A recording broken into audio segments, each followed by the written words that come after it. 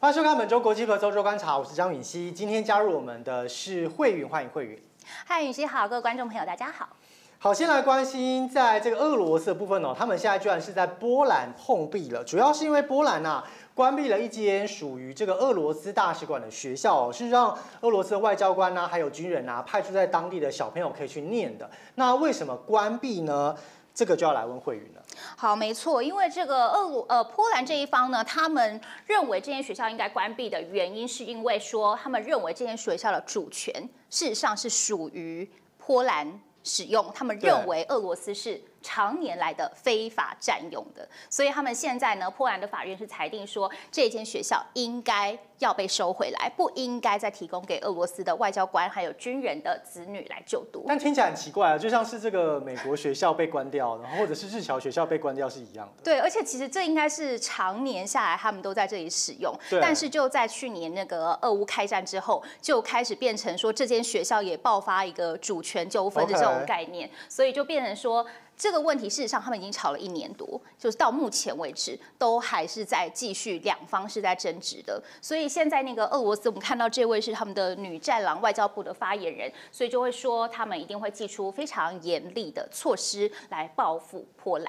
因为除了这所在华沙的学校被关以外哦，其实俄罗斯驻华沙的大使馆呐，还有这个商务代表处，他们的账户呢也是被冻结了。对，所以基本上这个波兰似乎是要跟俄罗斯对干的感觉。没错，就是两国彻底的杠上了。因为现在波兰挺乌克兰也是挺得非常的不遗余力，他们的军援都非常的给力。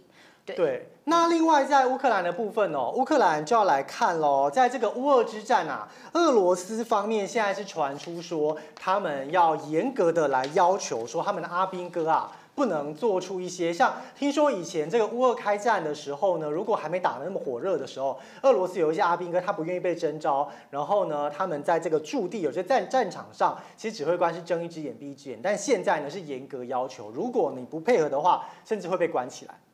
好，没有错，这是传出在去年的秋天，也就是也乌克兰开始进行所谓的大反攻的时候，他们呢其实就开始他们的俄军的参谋总长格拉西莫夫就开始祭出一些非常铁腕，而且说是非常老旧、古老的手段来去压制，也比如说应该是说管理这些俄罗斯的士兵，因为俄罗斯之前一直爆出说军纪低落、士气低落，那现在他会管理什么样的行为呢？像比方说，如果你酗酒，还有就是说，有人想要提前结束他和军中的合约，他不想要打了，他想要回家，这些都是不行的，所以这些都会被惩罚。那之前呢，可能会觉得说啊，因为这一阵战争也不知道要持续多久，那之前是征召你来，就是只要有兵上战场就好的那种状况的话呢，对于你这种行为，可能会睁一只眼闭一只眼，甚至有的时候可以偷偷放你回家探亲一下，然后再回来。但是现在这些都不行了。好，那除了这个在这个战场上哦，军队管的比较严以外啊，听说就是俄罗斯面对这乌克兰的春季大反攻，他们阵前换将哦。原本这个后勤的最高级将领是俄罗斯的国防部的副部长，现在呢是换成这个俄罗斯国家禁卫军的总司令。阵前换将是不是也蛮忌讳的？的确，这是一个大忌。那当然呢，不过我可以看到，就是俄罗斯既然有这样子的换将，就代表说，是不是我们可以联想到跟克里姆林宫的权力内斗，或者是说，对，还有瓦格纳，因为瓦格纳也是杠上了俄罗斯的国防部，所以就其实是跟感觉是跟俄罗斯。内部的权力派系的内斗会比较相关。OK，那最新的这个乌俄的报道呢，我们就要来看哦。大家一直在想说，乌克兰到底什么时候开始春季大反攻啊？现在似乎是有一些端倪啦。因为乌克兰呢，包括他们攻击克里米亚的一个燃油库，另外呢，包括俄罗斯占领的顿涅茨克哦，现在乌军呢也有开始一些攻击，而俄罗斯方面则是有发这个十八枚飞弹的反击。来看这则报道。就在消防员背后不远处，烈焰火光、浓烟冲上天际。近距离看，火势猛烈，根本难以靠近。俄罗斯占领乌克兰克里米亚半岛上的塞凡堡燃料库全面燃烧。远看还能看到燃料库的上空窜出了小型的蕈状云。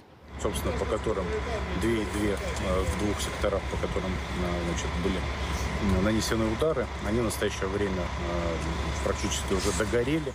将近四万吨的燃油都被烧个精光。为什么会起火？俄罗斯指派的塞凡堡傀儡市长称是遭到不明无人机袭击。Ночью встал просто, пошел на кухню, услышал хлопок легкий. Думал, ну, наверное, как всегда ПВО сработало. Лег спать, а утром уже в новостях увидел все оставшееся. 消防队拼命洒水，好几个小时后才把火势控制住。巧的是，同样在乌东顿内茨克的俄罗斯占领区。 一辆客运小巴烧得焦黑，只剩下车架。俄罗斯称造成至少七死，都要算在乌克兰头上。Со стороны вооруженных формирований Украины был совершен массированный обстрел жилых, жилых улиц города Донецка с применением, как было обнаружено на месте, РСЗО «Град». А вы сами из автобуса? Я водитель. Водитель автобуса? А прилет был, а потом как произошло-то, помните, нет? Ну, сбоку, вот он, прилет. 地上都还能看到炮弹弹壳。这几天在顿内茨克的二战区，有卖场外的汽车被炸得焦黑，商场玻璃破碎，民宅倒塌。城市内看到黑烟四起，攻击频传，有民宅被轰出一个大弹坑。俄军宣称现场找到的弹壳，明显就是乌克兰所为。Данные ромбовидные элементы на снаряде, они свидетельствуют о том, что этот снаряд является снарядом «Хаймерс». 从南部的港口城塞凡堡到东部前线战区，接连发生不明攻击，是否真是乌克兰所做的？乌军不承认也不否认，但是有军事专家分析，这很有可能就是反攻预告。 I think too the Russians will also have mobile reserves, which the Ukrainians will probably be wanting to target before the offensives, and that may be some of these explosions we're seeing over the past week. 当然，这也更激怒俄罗斯。 就在乌克兰当地时间五月一号凌晨两点半左右，基辅再度防空警报大作，夜空中还看见疑似是防空系统追踪飞弹的不明红色光点。Where officials say Russia has launched a new round of missile and drone attacks. Several regions in the east were targeted, including Dnipropetrovsk, where more than two dozen people have been injured, including three children. 乌克兰表示，俄罗斯发射了十八枚飞弹，他们拦截了十五枚，但传出位于第聂伯罗巴甫洛格勒市的一处弹药库被击中。Still not enough. We still saw some missiles get through. Twenty-five injured in the central Dnipropetrovsk region, which is at least 100 kilometers from the the closest front line. 俄罗斯刻意加大对非前线地区的攻击，普京还一边对国内信心喊话。Сегодня в условиях экономической агрессии Запада парламенту, правительству, всем региональным и местным органам власти нужно действовать четко и быстро, работать как одна сплоченная, слаженная команда. 普京要全国拼经济，扩大对拉美及非洲地区的贸易出口。而和欧美的交锋不止在俄乌，就连在叙利亚上空都传出美俄两国军机差点正面冲突。Video released by CENTCOM From April 2nd shows a Russian fighter uh, jet conducting what it calls an unsafe and unprofessional intercept of a U.S. fighter jet, an F 16, in this incident. 面对美国的指控，仍在印度拼军事外交的俄罗斯防长肖伊古反控是美国挑衅。眼见 G7 领袖会议即将召开，俄罗斯积极拉拢印度，而美国盟友日本首相岸田文雄到了埃及还不忘批评俄罗斯，看起来双方都在非美联盟互挖墙角。TVBS 新闻综合报道。法国的部分，他们遇到的难题是监狱人满为患，到底有多满呢？他们四月一号的数字哦，是说他们现在收容了七万三千零八十名，所以他们说现在的容纳量是百分之一百二十，换言之有二十趴都是多的。所以说，其实。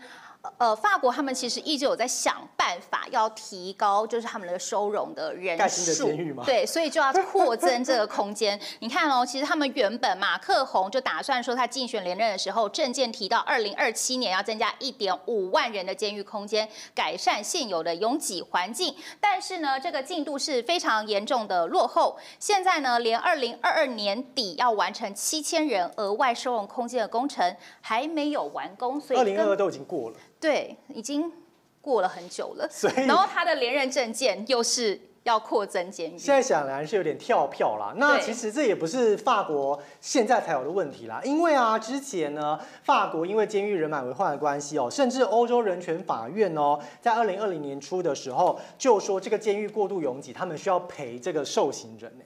对，而且他们的警告是说，这样的状况超收，然后导致说受刑人在里面受到的待遇只会逐月的恶化，就是说未来可能还会有更多的囚犯要进去。因为在新的监狱盖好之前，恐怕只会挤上加挤对，没错，所以他们就是担心会上这个受刑人人权又遭到迫害。那德国的部分呢？德国是跟这个比较好的消息，我觉得，因为德国他们是说啊，从这个宾士哦，这个名牌车，他们观察到说，包括通膨啊，还有这个能源的波动都已经趋缓了，所以呢，他们认为说，像是这个商用车哦，九人座的部分，全年的财测呢，是从百分之九到百分之十一上修到百分之十二到百分之十四，感觉全球的经济是露出一个曙光了。没有错，而且我们看到呢，就是现在随着各地解封，其实对，有发现各国原本那种大型的车展，好像又回归实体举办了，所以就看到，我觉得是一个实际上看到人来了，那种买气就会觉得比较上来的感觉，对，而且它其实是主要呢，这个猜测为什么可以上修的原因，就是看好中国大陆还有美国市场的需求回升，而且它的第一季财报已经不错了，五十五亿欧元，那它商用车还有一般车。辆的营收都有显著的提升，而且预期呢，就像雨熙刚刚说的，在通膨减缓跟能源波动的缓和之下，所以他们的获利还有可能可以再上升。不过呢，整体来说，对于欧洲的买气的需求，他们认为还是比较偏疲弱的。这当然是相较于中国大陆和美国来说了。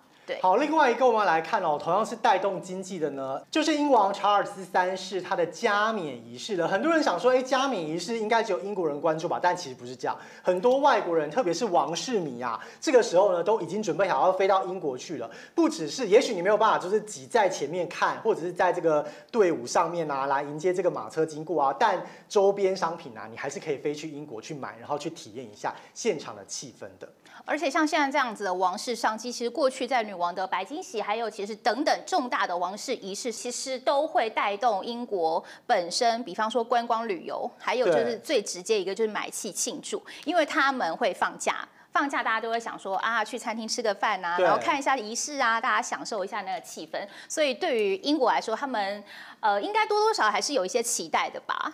对，没错，因为啊，他们是这个六号有加冕仪式嘛，然后七号的时候有这个音乐会，八号已经礼拜一喽，全国都放假一天，显然是个三连休啦。没错，就是一个三天假期的对，避免你前两天参加加冕仪式太累了。虽然你没有去现场，但你可能会看电视啊之类。那听说这个国王的马车要途经的地方，已经开始有人在排队了。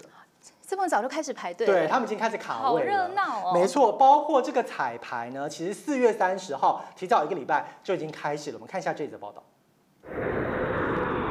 英国国王查尔斯三世加冕大典进入最后倒数，英国皇家空军飞机和直升机在空军基地上空进行空中分裂彩排。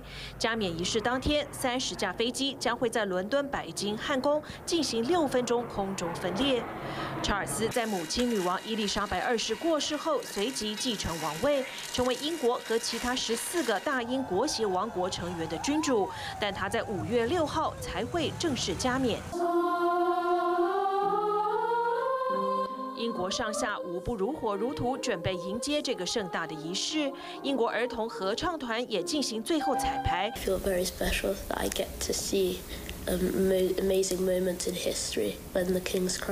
温莎乐高乐园也为加冕礼特别创作两个新场景。乐高版的国王和王后卡蜜拉戴上王冠，站在白金汉宫阳台，周边还有数百个迷你粉丝包围。另外一个场景则是预定加冕隔天在温莎城堡举行的音乐会。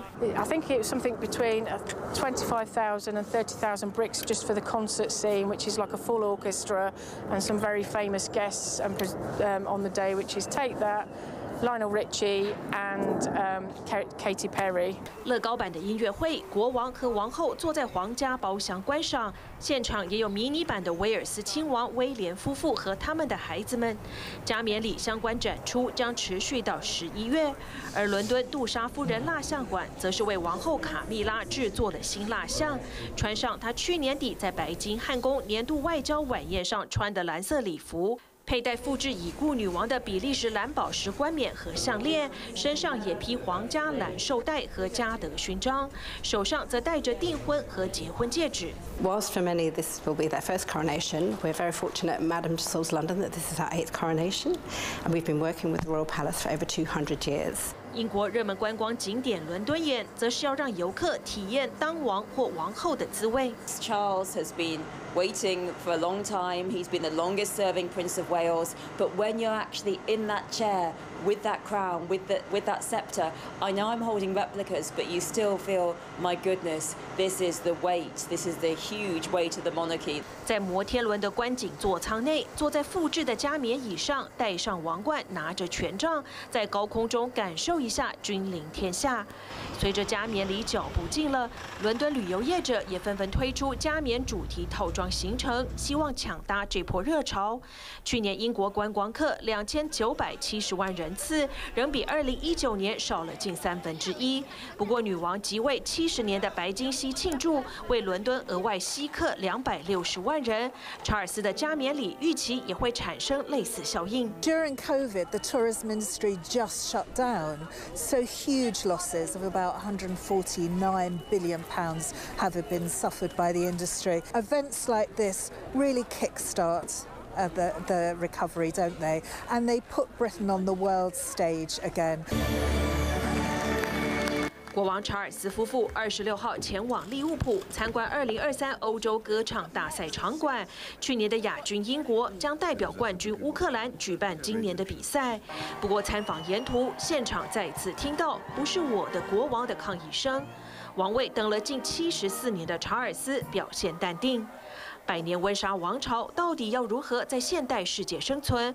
不止英国国内有反王室声音，远在加勒比海的前英国殖民地牙买加对国王加冕更是无感，甚至计划要脱离大英国协王国。It doesn't mean anything to me, you know, in person, because I don't see what they are doing for us here in Jamaica. So it don't mean anything to me. If we have independence, why would we need another head of state from abroad?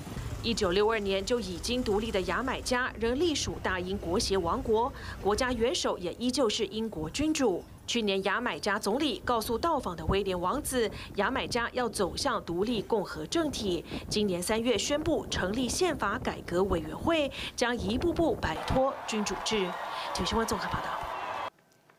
好，我们刚才新闻里面有看到哦，查尔斯他的所到之处，现在啊也是充满着很多人抗议啦，认为说呢，他不应该继续当王下去，因为主要还是反对这个王室。那这一群人呢，反君主制的组织哦，叫做共和国，他们现在啊还打算在登基当天哦，要发动一千人都穿黄衫、黄色的衣服出去抗议，让这个马车经过的时候啊，就看得到他们。对，而且要喊着“不是我的国王”，就是。不，就是认为查尔斯三世不应该成为这个国家的虚位元首。对，因为他们主要还是反对君主制啊。他们认为说呢，君主制会陷入一个大麻烦，包括现在看到的，在支持度啊，还有关注程度啊，都是减少的。那过去大家认为说，其实女王啊，她一定程度的是维持这个英国人对于君主制的一个赞同。那毕竟女王过世了嘛，所以大家都在看说查尔斯是不是有办法延续。那很多人就认为说查尔斯没办法。对，因为就是权威，还有说过去的丑闻事件，多多少少人家就觉得还说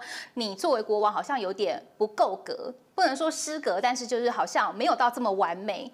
所以就是说，他们会批评说，现在呃，英国王室里面已经少了那个明星球员，之前的明星球员就是女王，对，所以现在已经没有明星球员了，你还需要继续下去吗？这是他们反对的主要声音。也可以来看一下这个民调，这是英国国家社会中心研究的民调。事实上呢，从你看从去年到今年，这个变化还蛮大的，因为对君主制的支持度从三十八降到二十九，然后认为应该废除君主制的人从三十五。增加到百分之四十五，所以已经增加了十个百分点，就在一年内的时间。而且这个二十九啊，其实呢，它是一九八三年以来最低哦，就是他们调查了，你看一九八三年到现在是四十年了，嗯，四十年来最低的时候，所以他们认为说查尔斯三世呢，他恐怕是受到了一个很大的挑战啦。不过也是有专家认为说，嗯，可能不用那么悲观啦，因为像刚刚我们提到了嘛，很多。观光客会在这个时候特别来英国，那英国人也会因为这种大型的庆典啊，可能对于君主制的这个热衷有稍微回升一些，嗯，所以他们认为说可能会提升一些正面的观感。但专家也点出一点哦，他说其实长者对于这个君主制是比较认同的。他说五十五岁以上的支持君主制的是百分之四十二，但是十八到三十四岁只有百分之十二啊。所以如果说也许我想，这个查尔斯三世他不会遇到，但他儿子可能会遇到。对，所以就变成他们要维持一个王室的声量，所以变成说，你不只要跟这些长者，你比较不太需要博他们的支持度，但是年轻一辈，你可能需要跟他们同感，跟他们产生共鸣，让大家支持你，然后让这个英国的王室才有办法继续延续下去。对，那很多人喜欢王室有一个部分哦，就喜欢这种嗯很高级啊，对不对？然后很尊荣啊，或者是大家就是感觉是不可能碰得到的这个形象。嗯，今天就要来讲卡蜜拉，她登上这个呃皇皇后的宝座。那她在加冕仪式上呢，她会戴一个王这个皇冠啦。嗯，那这个皇冠很特别哦，是长这个样子。他其实呢，并不是新做的。他说，为了要这个维持一些可持续性啊，还有效率啊，所以他选择是十八世纪以来呢，首次是重复使用的这个皇冠。那这个皇冠上面有一个很争议的地方，就是那颗钻石哦，光之山宝石。因为这个宝石呢，你看一百零五点六克拉，是数千年前印度开采最大切割钻之一。但是呢，就是过去的殖民色彩，让这颗钻石饱受争议。所以现在呢，王室要移除这个光之山宝石，改用女王胸针的三颗库利南钻石来重新给它放上去。所以到时候大家都可以期待它重新放了一颗钻石之后会变成怎么样子。而且不只是这个钻石要换啊，他说这个造型啊，其实也会稍微的更改一下。像这个我们看到它有这个桥式的这个造型呢，它可能会拆掉一些。原来。王冠是可以这样子改的，我第一次知道。他说那版就是可以拆卸的，交由专人来改。对，所以他已经从这个我们知道他会在这个伦敦塔，他们这个收藏这个珠宝的地方，已经把移出来，在改造当中。好，OK。但是呢，其他还有引发争议的，还包括了像是铁木尔红宝石项链，还有绿宝石腰带，都是因为过去的历史争议，所以呢，这些王室收藏的珠宝呢，也变成被人家。好像挑出来特别的批评了一下。对，就等于说，哎，这个大家开开心心的时候，其实很多人还是在看啊，历史上有哪些有争议的地方。对，那再来呢，同样要回到这个加冕当天哦，当天到底会有多少人呢？他说，其实已经比女王当时加冕少很多了，但还是有两千位啊，真的是蛮多的。对，已经缩水了四分之一了吧？因为之前好像是八千位至少。对，那他为了要展现亲民的形象啊，包括说他会请这个社区志愿的代表一起来观礼，这样。好，对，而且刚刚允熙有问到说。这个他的孙子乔治小王子有什么任务呢？他会当荣誉四骑士，要负责是提国王的长袍入西敏寺。对，那我觉得就是这个荣誉四骑士，除了这个国王有哦，王后也有了。对。王后卡蜜拉呢，也同样找来她的孙子，不过这个孙子基本上是跟国王没有血缘关系的。对对对对对。对，所以他有三个这个孙子孙女呢，也会一起来当这个四骑士的其中三个成员。好，再来呢，就是很多人关注说哈利会不会去？哈利会去啊，大家很早就知道说梅根不会去了，因为是这个雅气的生日，所以雅气跟妈妈一起待在美国。另外呢，同样这个争议满点的就是安德鲁王子啦，安德鲁王子也会去，但也是一个人去。对，所以这两位都是单独出席的。那各国政要有谁来看一下？马克宏夫妻，还有德国总理肖兹。美国是由第一夫人吉尔拜登代替拜登出席，但是拜登已经亲自打电话给查尔斯三世了。那么另外呢，加冕游行也预估单程就有二点一公里，会有皇家骑兵护卫陪同抵达西敏寺。那么来宾的部分可以看到呢，有谁？凯蒂佩瑞，还有阿汤哥，还有我觉得比较有趣的是维尼熊。他们都会去，维尼熊也会去，对，因为维尼熊是说要致敬那个柏林顿熊，就是女王之前跟柏林顿熊，所以会有邀请到维尼熊。但听起来很敏感啦，所以这个大陆国家主席不会去。对，好，对，好，然后还有另外那个大陆钢琴家郎朗也会去啦。对对对对对。好，那重点呢？这个音乐会其实在隔天哦，就是五月七号啊，五月八号的时候，他们刚刚有提到他们会放假一天啦，也是来庆祝。接着呢，我们就要进入法国的主题。不过在这之前呢，我们还是要来看一下法国目前到底遇到了什么问题呢？来看这则报道。五月一号这一天，巴黎街头有如战场。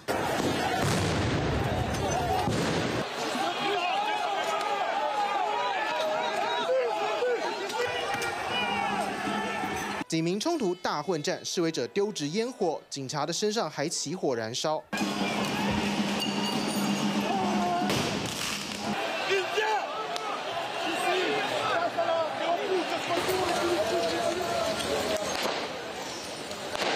处纵火也难以消除心中的怒火。法国八大工会串联全国八十万民众上街头，光是巴黎就聚集了十一万人，比以往的五一宫斗活动多了七倍。号称史上最大规模的劳动节示威，总共逮捕三百人。Inflation, the cost of living. Every May the first, the French come out and demonstrate. They take to the streets. What authorities are expecting today as a result of that pension reform protest is that this could be one of the biggest May the 1st protests. Moi, je suis plus déterminé que jamais. Macron, 4 ans s'il faut, bah 4 ans on y va. Pas de problème, je suis là. 即便争议的年改法案，总统马克宏早就签字生效，民怨却越挫越勇，全是因为反对党号召公投，似乎出现翻盘的曙光。 One poll suggesting that after months of marches, 62% of the French are still opposed to raising the retirement age from 62 to 64. 只不过法国公投门槛并不低，不仅需要国会议员五分之一联署提案，还得在九个月内收集到五百万份的民众联署。这条反年改抗争之路恐怕还很漫长。TVB 全综报道。好，法国的反年改示威哦，已经持续很久了啦，几好几个月了。对，那好几个月。基本上呢，它这个法案哦，在四月十四号的时候已经正式生效。那这个法案生效之前，大家知道说，基本上马克龙他就走个强度关山的方式嘛。那现在其实哦，它已经生效了，但是反年改团体呢，他们并没有放弃，甚至他们把这个眼光放远哦。他现在是说，这个奥运的时候呢，恐怕政府要汲取教训。没错，他们现在是拿可以说是拿奥运来威胁，因为大家的在网络上串联的口号就是说，如果你不撤销就没有奥运，所以他们现在呢就说，呃，事实上呢不撤法案就干扰巴黎奥运，或者是说要用奥运工地来罢工啊、封锁比赛场地等等的。你看到这个 hashtag 已经出现了，那么还有反奥运协会成员说，奥运瞬间能够影响成为施压的政治目标。不过还是有很多人跳出来认为说，毕竟奥运是个全球的大事嘛，它四年才一次。对，虽然说这个国内有一些反对的声浪啊，但好像不应该来恶搞奥运啊。嗯包括像是这个巴黎的体育部长啊，他就说，他认为伤害赛事就是伤害运动员。那一向呢反年改里头走比较温和立场的这个工会第一大工会呢，他也认为说不应该这样威胁奥运。所以接下来这个，嗯，应该是说。反对这个年改的这一股气哦，能不能一路延续到夏天，还是大家到明年夏天？嗯还是大家要来看的。而且其实现在马克宏他也知道说这个反年改的声浪非常非常的严重对跟强大，然后可能还会有后续的发酵。那他现在说说，如果我们养成撒谎或是否认现实的习惯，勒庞会成为动荡中的最大赢家。勒庞就是他的对手，也是他的手下败将了。但是一直都是现在在野非常强力的反对声音。对他是在二十三号受访的时候讲的啊，我是蛮好奇的，政治人物跳出来讲这样子的话，到底对自己有什么好处呢？我一想到好处就是，反正他不用争取连任。对，那其实勒庞呢，这个人的争议也蛮多的，因为对他其实呃过去会被他称为女版川普，对就是因为他是右翼，然后有一些言论比较极端。但是如果说现在会不会变成一个感觉像是一个政治上的话题，已经开始在炒这种政治口水了？对，因为很多人认为说，当时啊，大家不一定喜欢马克宏，但大家可能是不喜欢勒庞，所以才投给马克宏的。那现在马克宏这样讲，就等于是说啊，你恐怕是告诉大家说，如果你不坚定投我这边的话，就会变他，对，就会变他，有点这种。呃，就像你刚刚说的，在搞这个人人选上的斗争，类似这样的概念，或是政党上的。对，那另外再来看呢，同样哦，这个我们之前有讲过了，就是说。法国啊，他有一个部长呢，他居然去拍了这个《花花公子》杂志。那主要还是有一个争议比较大，是外界认为说他会不会是要转移这个年改的焦点啊？好像是把自己跳出来当这个炮灰的感觉。对，之前有人说，而且但是我有看到一个说法是说他在年改时中，然后这个《花花公子》的杂志曝光，反而是很不很不配合他们自己政党现在的行动。OK，对，然后认为是说好像。是增加了一个负面的声量，就是等于是火上浇油的概念。对啦，大概大概是这种猪队友的类感。但基本上他是说，他是为了女权，因为他一直都是这个很 support 女权的嘛。嗯，他说他是为了女权，所以才出来拍这一系列的照片。那他也认为说，大家对他的批评啊，恐怕只是为了要批评他而讲的。对，但是呢，现在还是很多人觉得他就是说，他出来拍反而。让自己贴上一个物化女性的标签，所以就是不知道是好还是不好。毕竟这个时候时机点很敏感。对，所以这个操作也是让人家觉得看不太懂。对，那另外一个呢，同样是这个八卦话题，我也是看不太懂哦。因为呢，他说英超有一个大球星啊，他居然是被俩包说他有一个情妇啊，这个情妇还是单亲妈妈。那媒体曝光的原因呢，就是说他给这个单亲妈妈封口费，说是由律师出面啊，有两万英镑的封口费。那为什么会有人出来爆料呢？原来他是说，他认为呢，这个。球团呢是以保密协议为由来欺压弱势女性，所以他看不下去，他出来爆料。但这整则新闻啊，基本上球星是谁也没点出来啊，单亲妈妈是谁也没点出来，感觉也是个雾里看花了。对，而且球会会介入谈判这种事情，我也觉得蛮意外的。会会会，通常会有球会来介入因为毕竟这个如果不是很大咖很大咖的球星哦，恐怕合约到了就放他走了吧。对，所以目前为止，现在这个报道就是仅止于此。对，以上呢就是本周的欧洲观察，我是张允熙，我是彭慧云，谢谢大家。想看最完整的新闻内容，记得下载 TVBS 新闻网 APP。